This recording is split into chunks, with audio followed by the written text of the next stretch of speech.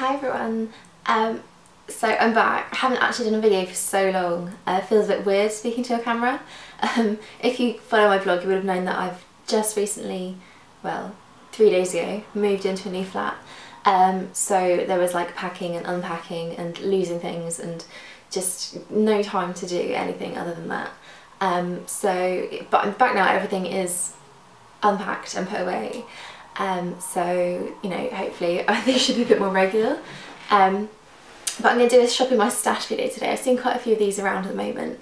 Um, and I haven't actually bought like a single new product for so long just because I've been spending ridiculous amounts of money on rent and furniture and things. So um, yeah, these are kind of the products that I've I've had for a while, quite a long time actually, some of them. Um, but I just, I used them, I went through a phase of really loving them and then I just put them away again. I don't know why, you know, bought something new and then they got forgotten about. Um, so this is a few um, things that I've just been using loads at the moment that I haven't used for ages. Um, so the first thing is the cleanser. Um, you know I have an abundant amount of cleansers just rattling around in cupboards and things um, so a lot of them get forgotten about but this one I, I bought and I loved it and I used it probably like twice before I put it away again. I'm not sure why. Um, but it's the Nip and Fab um, Clean Oil Fix.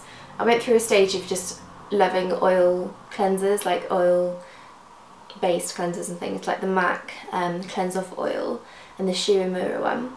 Um, but this one is a bit different. It's kind of not so runny. It's more like a really gloopy, oil.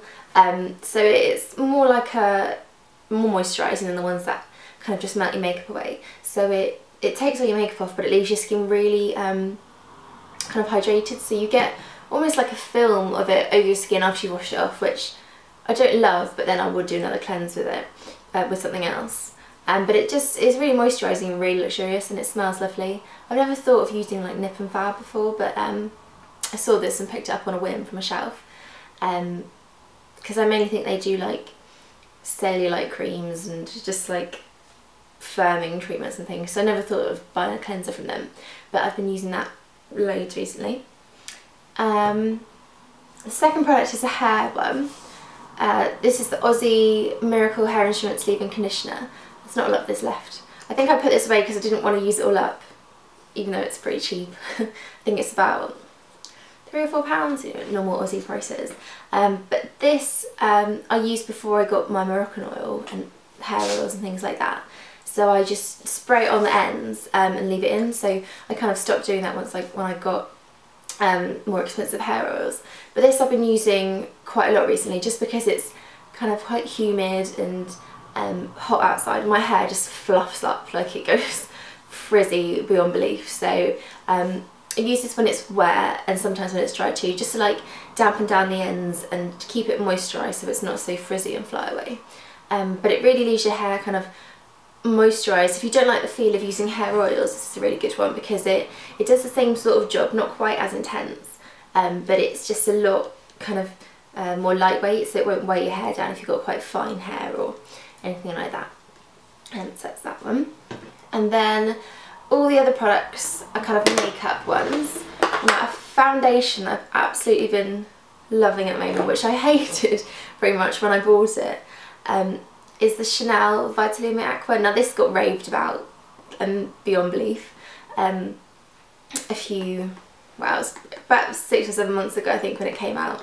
Um, and everyone had it and everyone loved it. Um, and I bought it, I went to Selfridges when I was in London and I bought this.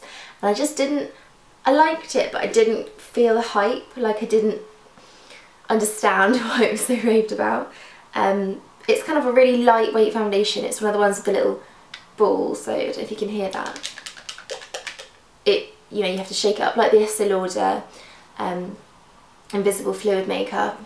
Um, it's kind of like one of those foundations that are quite popular at the moment that are really thin and lightweight but give quite a lot of coverage. This I found like all Chanel foundations just didn't last on my skin. I think that's why I stopped using it.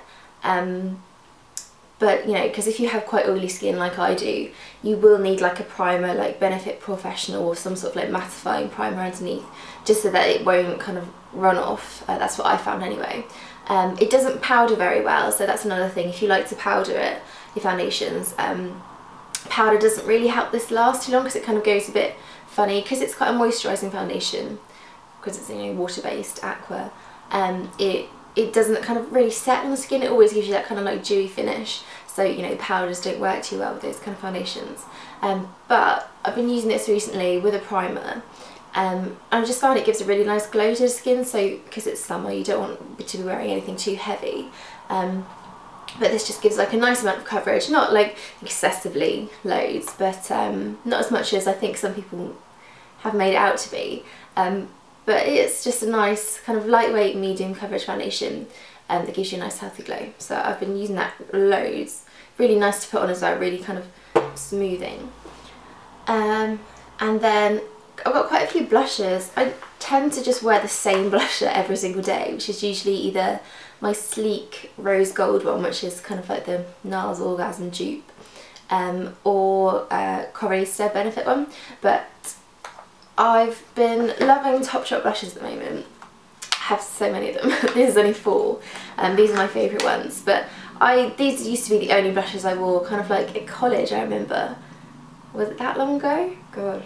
I feel old. I used to wear these all the time. Um, I think Neon Rose was the first one I got, which looks like this. If you've ever had a Topshop blusher, you will know how unbelievably grubby the packaging gets. In all Topshop makeup, actually, it's it's really sweet packaging, but it's just so prone to being dirty and never coming off again.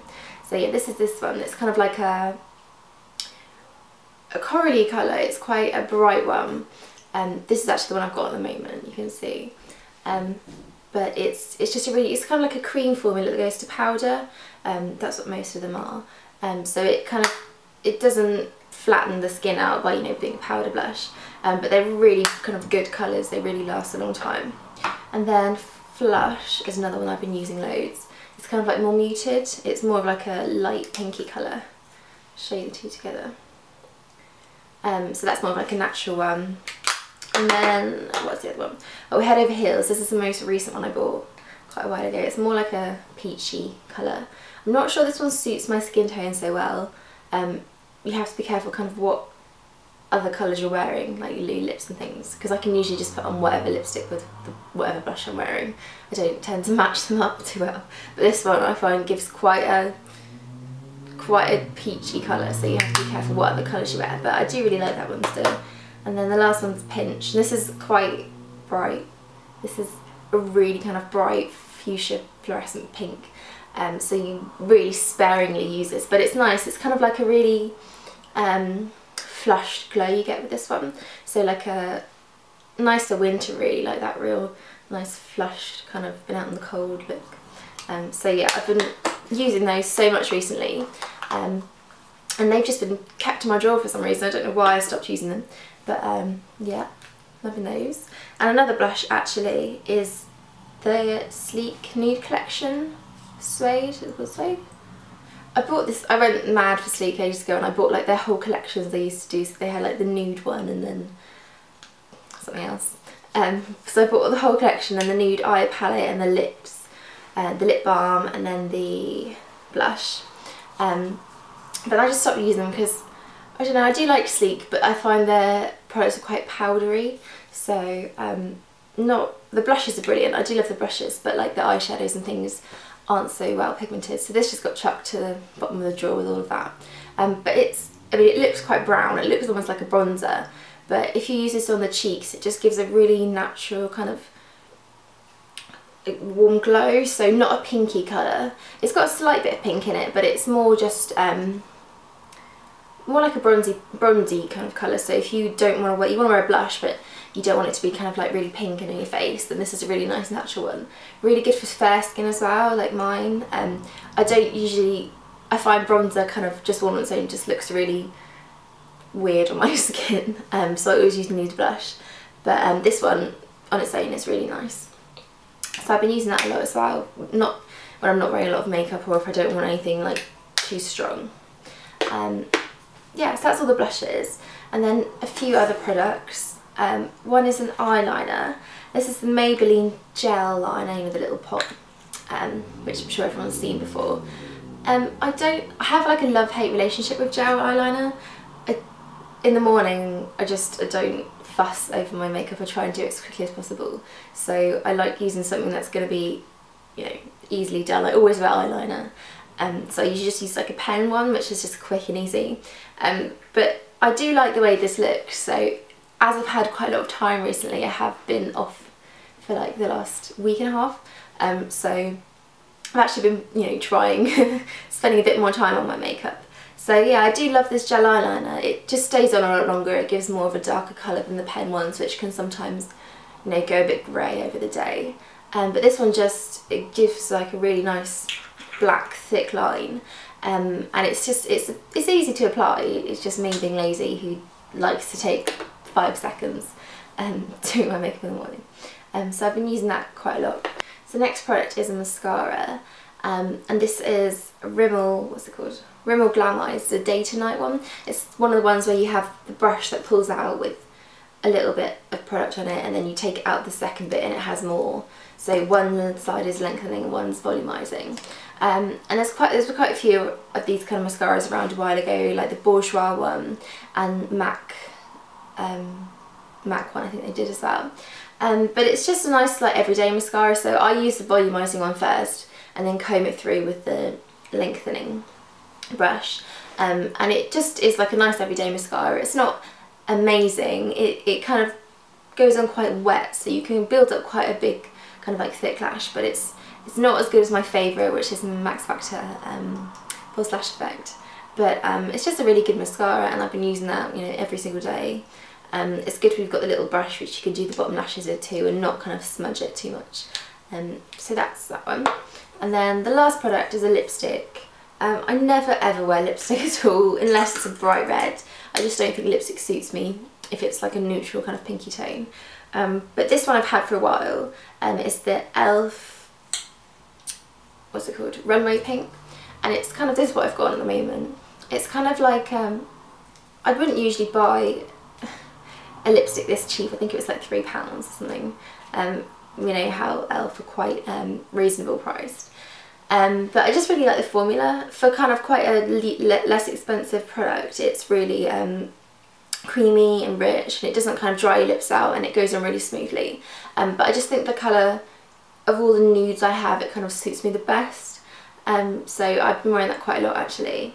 Um, I usually just wear like lip balm or something on my lips, but this I've been trying to wear. I'm trying to get through my stack of lipsticks that I actually have that I never wear. Um, so this, I, I, picked it up and I started using it, but I've actually really liked the way it looks. So those are all the products that I've been using recently that I've had for ages.